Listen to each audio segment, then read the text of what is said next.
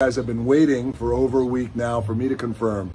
Uh, so I am 100% confirming to you guys around the world that yes, it is true. Hobbs is back.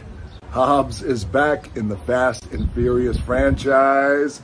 And um, man, I, I got to tell you, well, before I get into the, the why and the how, uh, I was able to pull this off and get together with Vin and pull this thing off. Before I get into that, let me just say that it, it has been so incredibly personally gratifying and satisfying and humbling and exciting uh, to see your reactions around the world. First of all, the secret of Hobbs being back in the Fast and Furious franchise, that was a secret that was hard as hell to keep. And you guys know me and you know um, my operating motto and at Seven Bucks Productions, which is always audience first, fans first.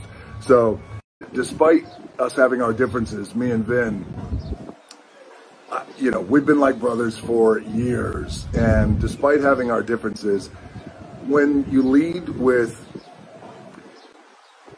the idea of number one, resolve, but then also you just think about the future and you think about plans that are much bigger than ourselves. And those bigger plans are the bigger build outs. Those bigger plans are the North Star, as I always like to say. The North Star is always my guiding light in whatever um, endeavor or opportunity that I am in, that I'm passionate about. I always keep a North Star uh, in my in my clarity and in my focus. And in this case, the North Star is the franchise that we love. The North Star are characters that we love, and the North Star are fans that we love.